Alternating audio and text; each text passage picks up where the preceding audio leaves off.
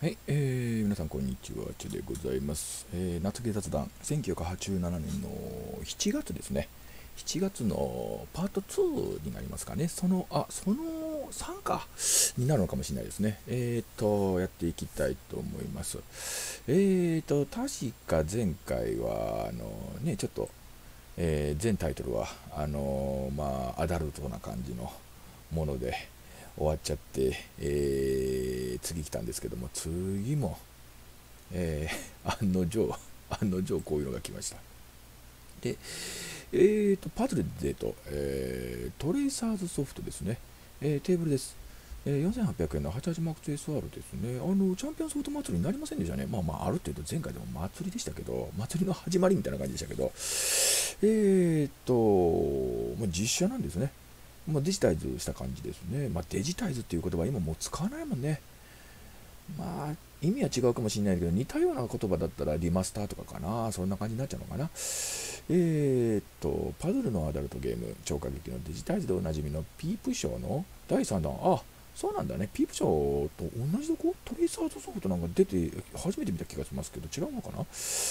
えーと、まず最初に完成図を見せられるが、初めて、初め、後ろ向いてる女性がアニメーションでこちらを振り向いたりアニメーションすると。そしていいところまで来ると画面がバラバラになる。ビデオからの取り込み画像をアニメーションするのは初めてだと思われる。お、ビデオからの取り込み画像がアニメーション。えーということは実写の動画ということなのかな？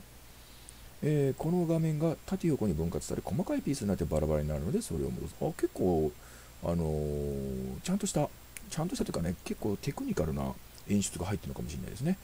私これちょっとしたことないんで分かんないですけどまあこれバラバラだから逆にお見せできるんですけどね。ね。ええーと次行きましょうか。えパンがソフトプラン。お？おおお危ない危ない。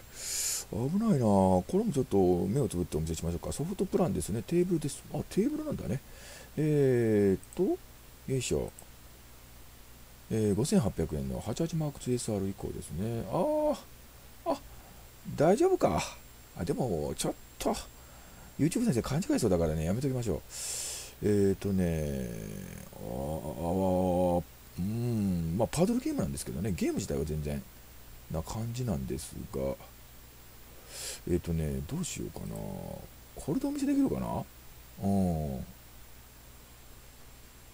ほい。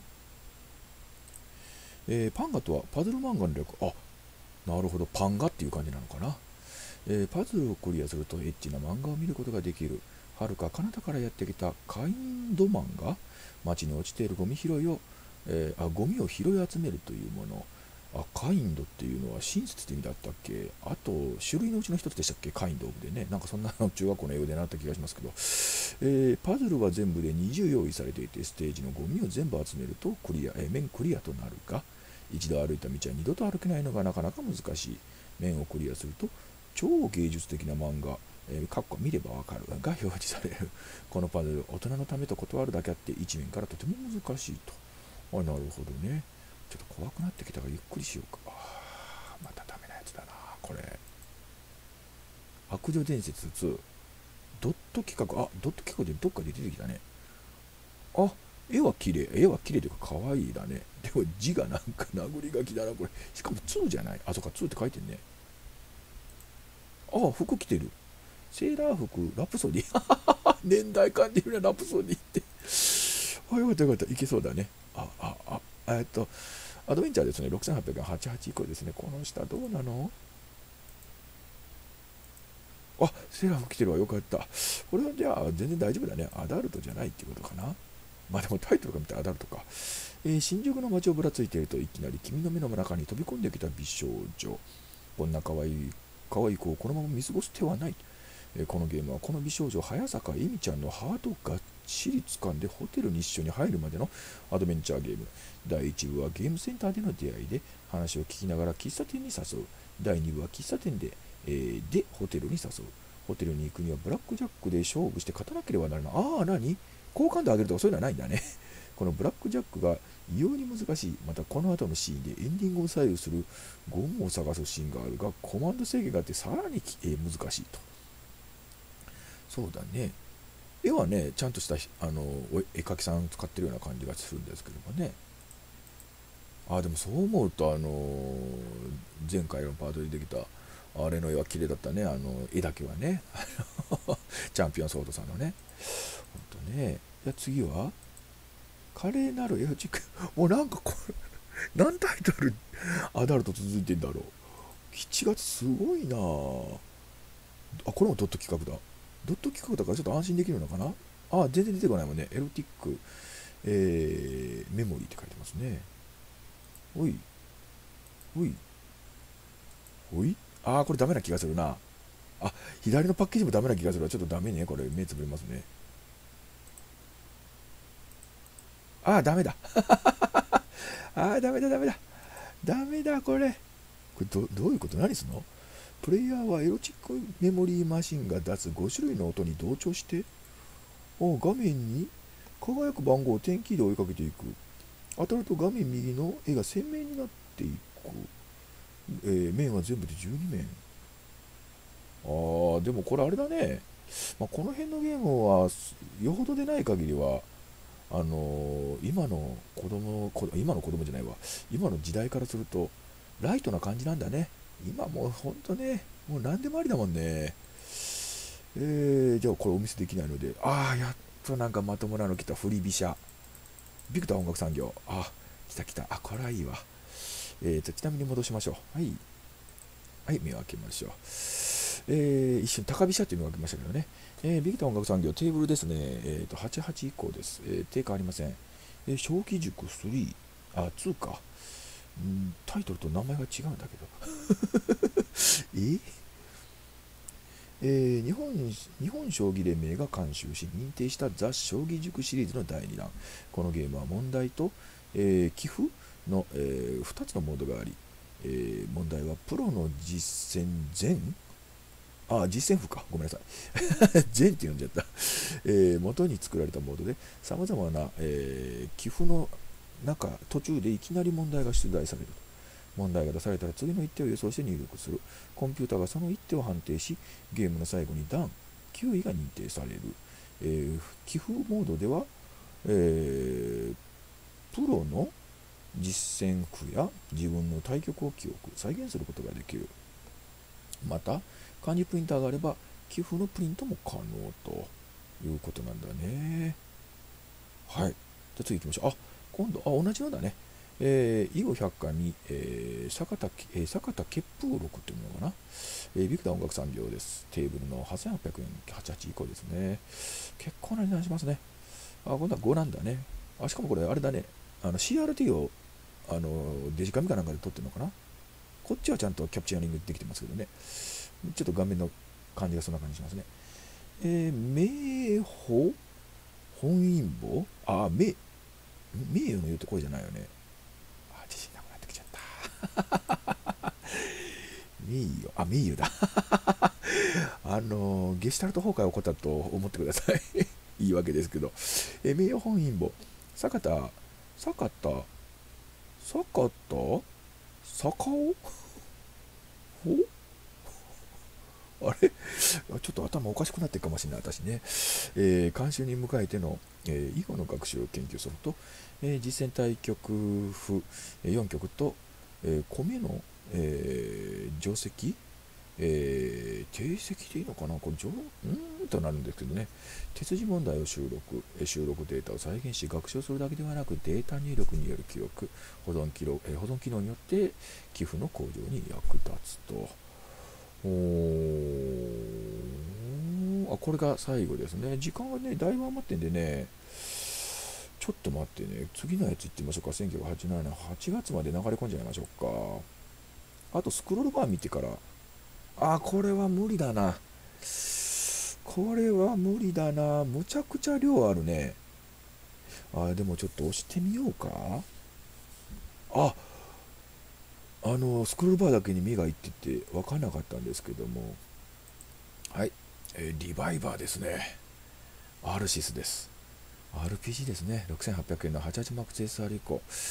これは非常によくできてましたが時代を先取りしすぎた感がすごく高かったですね、えー、斜め上から見た感じのロールプレイング。ハローディーンという世界には平和を脅かす悪の存在サダリアーンがいたと。これ喋るんですよね。はあ、はあはあははあってねオープニングで喋るんですけどこのサダリアンを倒すためハローディーンの世界から転生していた、えー、かつての英雄が呼び寄せられたそれがプレイヤーであるこのゲームの売りは類似 3D のスムーズなスクロール、そしてマルチウィンドウによるえ行動選択、そうそうそう。マルチウィンドウシステムなんですよね。あとスクロールもスムーズでしたね。かっこウィンドウの位置さえ変更することだってできる。そうそうそうそうそうそう。ウィンドウの位置変更できることができます。あと色使いがすごくいいかったです。はい。えー、会話の人工知能、そして音である、えー、ゲームの難易度自体も AI で変化するらしい。えー、そうなのね。おかなりの自由度の高いゲームで調べたいところがあったらコマンドモードにしてカーソルを合わせてリターンキーを押して調べたりできる BGM や効果音が素晴らしく酒場に行くと本当にあったかい感じがするただ激ムズそうですこのゲームの何が一番激ムズってねお腹が減るんですよでね先ほどにもあったようにあのコマンドがね、えー、選択方式なんですけどもえっ、と多分ね重要なところはね入力してあの普通に会話するんですよ手入力ででしかもそれはね、ローマ字というかひらがなを入力して、英語で会話するんではなくて、ひらがなで会話するんで、もう受け付けられない英語あ日本語だったら全然受け付けてくれなかったんですよね。あ、でもこれ AI だったのか。でも、アルシスさんだったら AI って言われたら、あアルシスさんだったら AI って作れるっていう気がしますね。ねえ。うん。これはね、ほんとね、あの、お腹が減るシステムじゃなかったら私やり込めたと思うんですけど、私一度ね、単発で上げてるんですけどね、これね、あの、お金、お腹が減るっていうのは時間制限があるっていうことですから、もうすごくむずいです。最終的に私はもう、あの、餓死します、これ。やっちゃうと。あの、事細かく調べる人はね、多分餓死しちゃいますね。うん、先に食料の確保をなんとかできないとね。これが、そこのコツが分かればね、や、ややりたいなって思うんですけど、これでも解いた人いるのかな雑誌でもね、クリアまでの特集組んでた雑誌ような気がしないんでね、ただ、もうこれ時代先取りしてたと思うんで、これもう一度アルシスさん、あ、もうアルシスソフトさんないんだね。これもう一度作ってほしいね。あの、もう一度あの、リメイクしてほしいね、今のシステムでね。もう別にそんなに複雑なのいらないからね。あのーユニティとかで、ね、ユニティユニティとかでなんか軽くサクッと作れないもんかな私もね、たまにユニティね、やるんですけどね、もうね、時間が空きすぎてダメですね。もうあの、ユニティ自体がね、更新かかっててね、全然使い方変わって、全然とまでいきませんけど、使い方むちゃくちゃ変わってるんでね、ただ、ただね、3、4ヶ月ぐらい前に行ってまたユニティ立ち上げたんですけど、あの、チュートリアルがすごくね、よくできてるようになってました。ねもうチュートリアルが基本でね、あの、内蔵されてるんで、昔の時はそんなんじゃなかったんですけどね。あと、スマートフォンのゲームもそうですけど、あ、スマートフォンのゲームじゃない、ごめんなさい。スマートフォンのね、あの、開発環境もそうですけど、このユニティもそうですけど、あのね、もう、バージョン、開発環境のバージョンが上がるとね、前のね、ソフトがね、前の、うん、ソフトのソースが、前のアプリのソースがまともに動かないっていうのをなんとかしてほしいな。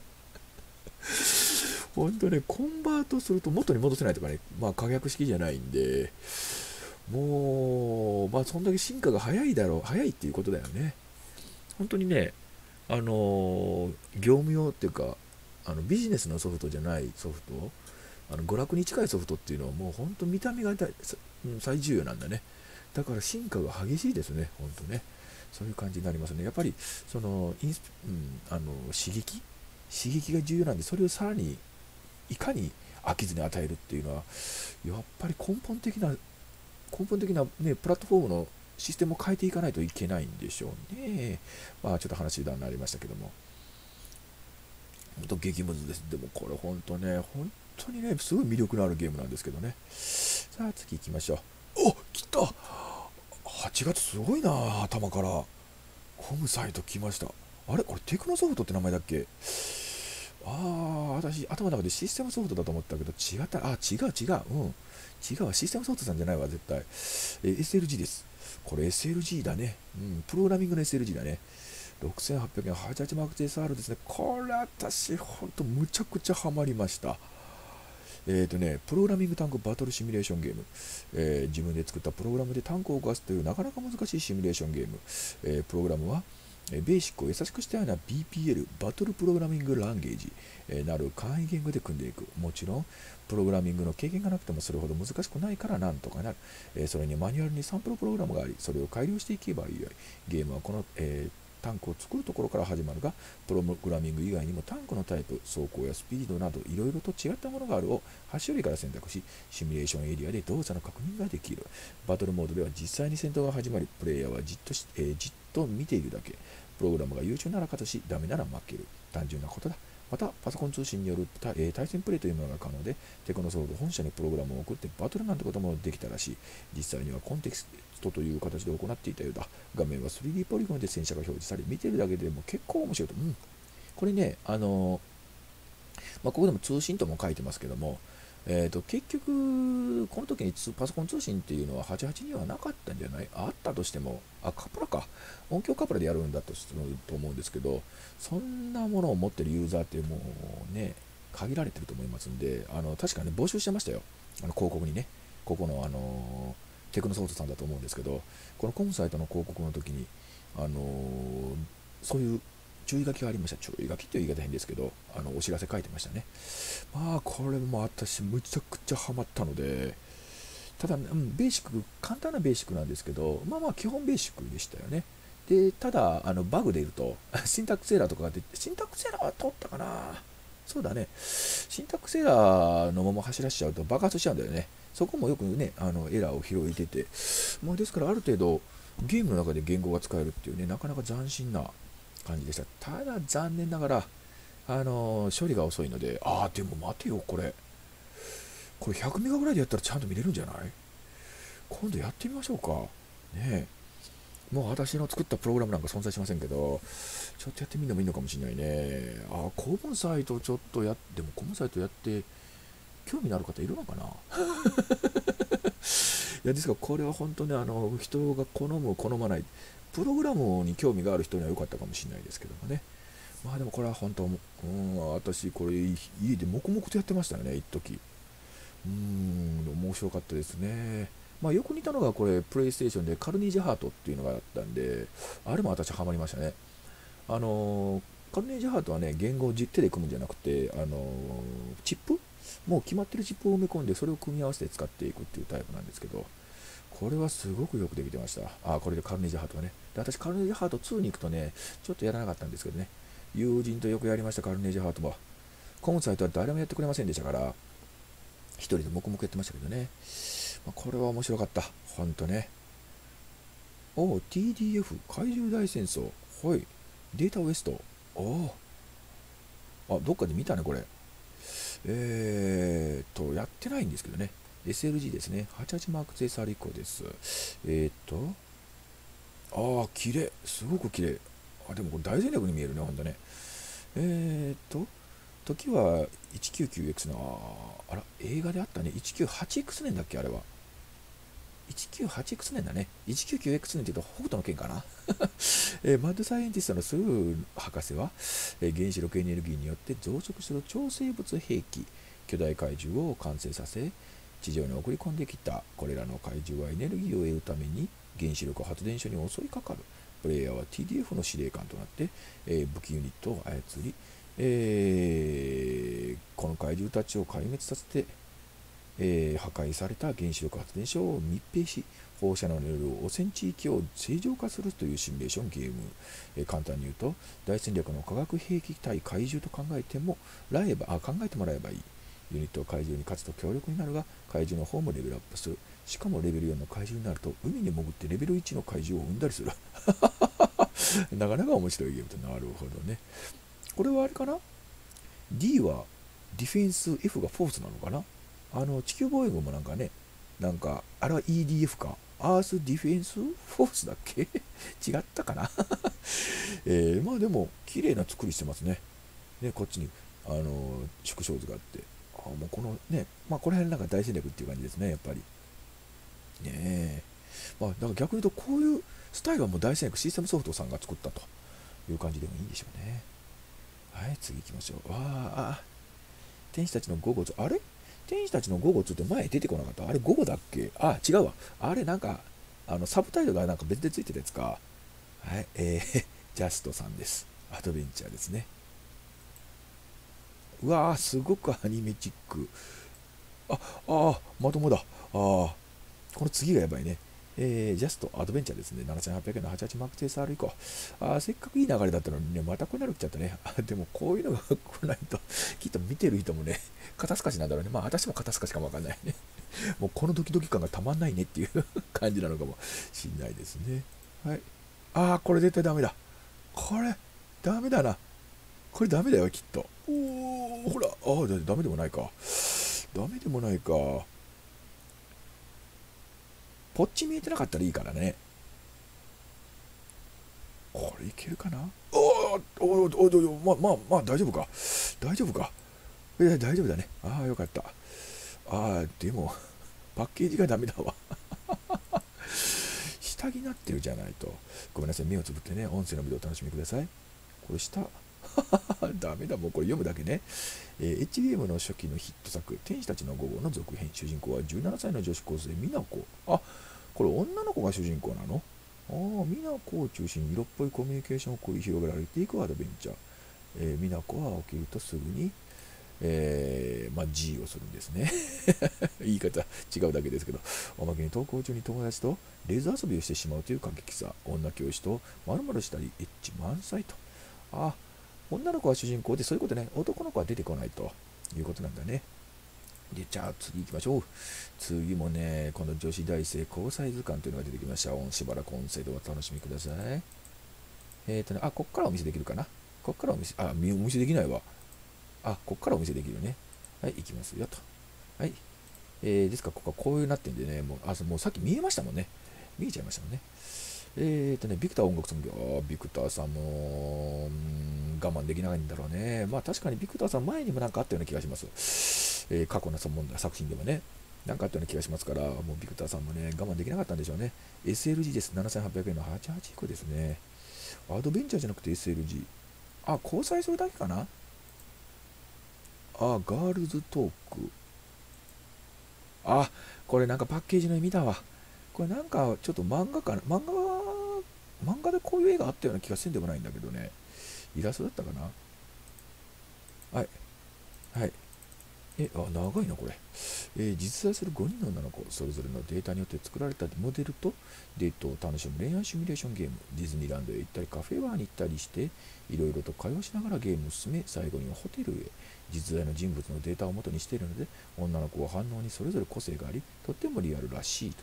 えー、何でもこのゲームに出てくる5人の女の子を口説き落とせれば、実際のナンパも100%成功すると原作者の、えー、小沢ひろみさんも言っている。あ、女性が作ってんの？えー、本当か？そうだね。この小沢さん、オールナイト富士のオールナイターズのメンバーだったこともあるらしい。私、オールナイト富士見ないんですよ。見てないんですよね。えー、パッケージには5人の女の子の写真が写っていて、おお、この子やと思ったことをデートすればいいと。1人から700項目もの質問をして、会話のパターンも4000以上に収録していると。あのね、私、これを見るとね、このスロットみたいな、これがスロットみたいに見えちゃってね、で女性がいてスロットがあるとね、あの 88FH のね、あのデモディスク？あれを思い出しちゃうんですよね。いやー88がね我が家に来た時はねあのソフトを買ってなかったもんですからあのその日一晩一晩中それ見てましたね。あの デモディスクしかなかったから。それ見てとあとベーシックしてそれ見てベーシックしてそれ見てでしたね。ほんと次の日のねもう夜が明けるのが楽しみで仕方がなかった。早く来ないかなって思ってましたもんね。そうね。さあ次行きましょう。アート・オブ・ウォー。あアート・オブ・ウォーのシナリオ集ですね。えー、ブローダーバンドジャパン SLG ですね。4800円の88マーク SR1 個これもなかなか88では酷評でしたね。アート・オブ・ウォーのシナリオ集で海賊版として発売されたもの、えー、今回は反戦による、えー、シミュレーションバトルである。敵の提督はソウルフット、えー、シドニア公爵、えー、ネルソン、ブラックビアなど、これ、全くゲーム変わってそうだけど、シナリオ集っていうことだから本体ないとダメなんだよねきっとね。それとも全く新しいものなのかな？うんちょっとわかんないね。えっ、ー、とアイドルデータバンクタケル。あ今度タケルがカタカナで出てますね。えっ、ー、とあここではカタカナじゃないカタカここでタケルって出るのが初めてかなひょっとするとエトセトラになります。88マーク SR Now Printing。Now Printing。これ。当時はまあ Now Printing だったのかもしれませんけども今となっては No Printing でいいのかもしれないね。ねあ何もありません。サンミュージックのアイドル早見優水谷麻里酒井法子の3人が出演しているデータバンクと。もう私水谷麻里さんって知らないわ。ねえ。もうこの2人ももうめちゃくちゃいい年だけどね、まあ、この人も真ん中の人もいい年だと思いますけどね。えー、内容は大きく分けて2つあり、1つは全データが載っているアイドルプロアイドルプロフィール、もう1つはボーイフレンドチェックというもの。えー、あ、下見えちゃった。えー、っと、これはそれぞれのアイドルからの25のイエス・ノー形式の質問が出て、これに答えていくと、ボーイフレンド度が上がるというもの、ボーイフレンド度が高ければ、直筆メッセージなどが画面に表示されると。はあ、そういうことなんだね。さあ次行きましょう。ザ・リターン・オブ・イスターですね。私これやった気がするなそうそうそうそう SPS アクション88マックス SR 以降ですねあやったやったやったやったわアーケードで大人気だったリターンオブイスタの移植ゲーム内容は可愛らしい貝と勇ましいギルを操ってたくさんある部屋でアイテムを集めながら敵と戦って進んでいくというもの画面はアーケードと同じでとても綺麗だし BGM もそのままほぼ同じ。X68000 用のグラフィックスの移植は SPS が行ったがそれをナムコが気に入って移植を依頼したという話だあそうなんだね。ああそっか。X68000 で最初あったのか。あ X68000 のグラフィックグラディウスの移植グラディウスを SPS が行ったんですね。ああれ私コナミさんが出してると思ってた。違うんだね。でそれを南北さんが気に入ってたというのもね分かる気がします。このねこの SPS さんっていうのは私知らないんですけどこの88のリターンをしためちゃくちゃスクロール綺麗です。これねあのー、もうサバッシュ並みに綺麗かったのでこれもあのボックス転送とかいうテクニック使ってるのかな。なんかねうんすごいスクロールがね綺麗でね。ああじゃあこの SPS さんっていうところはすごいテクニシャンな会社だったんだね。そういう感じなんですね。6万8000のグラディウスの移植って6万8000グラディウスの移植ってまんまアーケードだったよね。ああすごかったですね。じゃあこのこの名前も覚えておきましょう。SPS SPS 今これで SPS なんて検索しても絶対出てこないけどね。SPS 何が出てくるの？SPS で調べると。はあ 株式会社 SPS ホールディングス。安倍のキャンパス？なんだそれはあ。はあ。サントリーパブリシティサービス違うね。で、これで絞り込んで、お、お、お、お、google.com、えー、ブラックです。えー、SPS 樹脂、樹脂、樹脂もあるんだね。ソフト、あ、ハウス出てくるね。SPS ウィキペディア。ほうもうちょっと待ってもう一度戻りますね。おい。えー、株式会社 SPS は徳島あ福島県福島市に本社を置く主に家庭ゲームソフトの企画開発移植販売オンラインゲームサーオンラインゲームサーバーのオンラインゲームまでやってるんであまだこれ既存の会社だね。運営をしている日本の企業である。前身は今の板金工業所の一部門である。えー、板金工業所雑誌の投稿プログラムを通じ、シャープからアプリケーション作成の依頼を受けるようになった。へえ。マイコンハウス SPS の名称を使っていた時期もある。社名は資本として関係はないものの、シャープに多くの仕事をもらった縁から、シャーププログラムサービスのを由来としてる。ああ、そうなんだね。キャリーラボとパートナー関係にあり、相互に自社製品の流通を行うなどしていた。おおすごいんだね。まあシャープとつながってたという感じなんでね。PC88 シリーズ MZ2200X1 に対応した形で。ああだから6万8000なのか。はあああ書いてますね。アーケードゲームの移植をはじめ X6 万8000初代機の同梱ソフトである。あそうだ6万8000にはグラディウス同梱されてたんだ初代機は。ああそうだったねその凄さはね。もうあれ衝撃的でしたもんね。グラディウスはその移植の出来に自信を覗かせる発言があったことも知られる。あらそらあんだけのものがあんだけのもの作れたら自信どころじゃないわね。もう。その後シャープからリリースされた各社ゲームの移植作品カプコンコナミが発売元になった一部移植作品とあ移植を得意としてたんだね。X6 万8000の移植を多く行い自社ブランドでも他社作品の移植を多く手掛けるようになった。その質については毎回作品ごとに賛否が分かれる 賛否分かれちゃうんでねオリジナルではなく移植されたものを、えー、参考に作られたと思われるものも存在すると。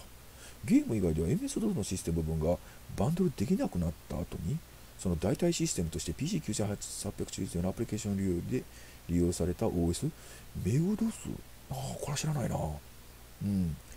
2005年12月1日付でネットビレッジ株式会社と業務の提供を行い事実上開発業務は NV ソフトへ移管する形となっている2010年9月5日にウェブページを大きくリニューアルされ2007年より新体制になった旨が記されており主にウェブサーバーの運用運営などに仕事した内容に変更されああテクニシャンの部分は流れちゃったというような感じなんですね。やっぱりもうこのソフト会社ってなかなか栄枯盛衰が激しいですよね。ほんとね。はい。えー、っと、じゃあ戻りましょうか。てか30分超えちゃいましたね。えー、じゃあね、ちょっと中途半端になっちゃいましたけど、えー、この辺で終わっておきましょうか。えー、それじゃあね、えー、夏毛、えー、夏毛の1987年の7月から8月にかけてになっちゃいましたけど、この辺で終わっておきたいと思います。どうもありがとうございました。